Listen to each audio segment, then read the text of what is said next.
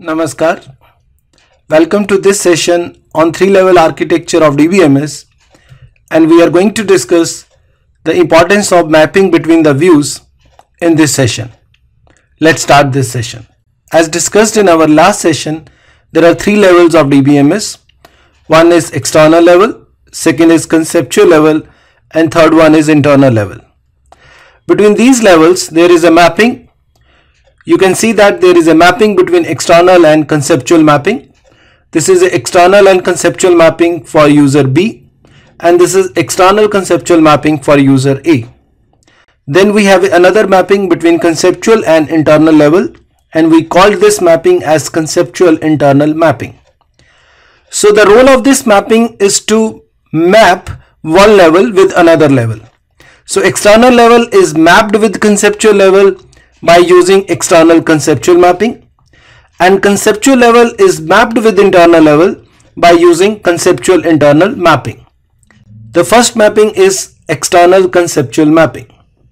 So external conceptual mapping map the logical record in external view to one or more records in conceptual view. So it basically map external records with conceptual records. Let us consider an example to understand the concept of this mapping.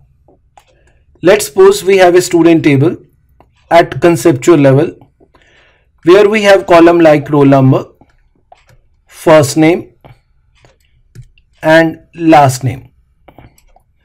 While the user at external level B who belongs to library want to access name information of the student.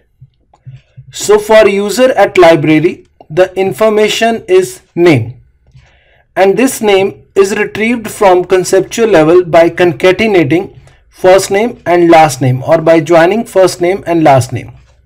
So this name at external level is mapped to the first name and last name of conceptual level.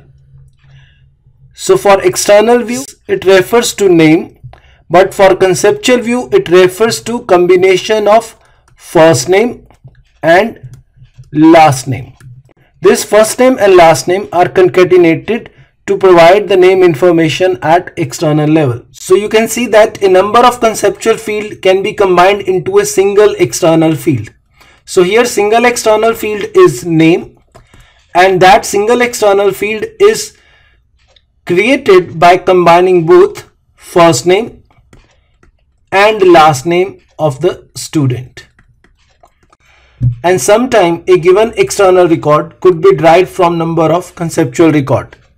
For example, if we are looking for total number of students, then this information of external level will be created by counting all the records at conceptual level.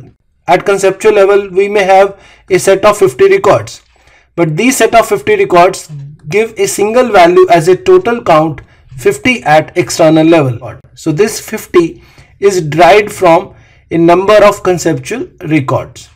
So this is the importance of external conceptual mapping.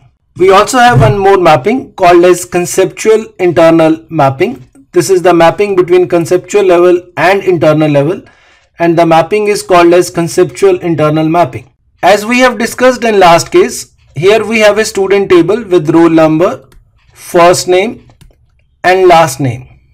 But this table is physically stored in this disk which is placed at internal level. So the retrieval of this data from hard disk is achieved by conceptual internal mapping. So this enables the DBMS to find the actual record or combination of record from the physical storage. The actual retrieval of data from physical storage has been taken place through this level of mapping. There is another concept called as schema. The overall description of database is called as database schema. We have three levels or three views. So there will be three different schemas. The data at external view is described in external schema. The information at conceptual view is described in conceptual schema and the information at internal view is described in internal schema. So we have three different schemas which refers to each view. So you can see that for external level, we have external schema. For conceptual level, we have a conceptual schema and for internal level, we have a internal schema. These schema define the data which is available at external level.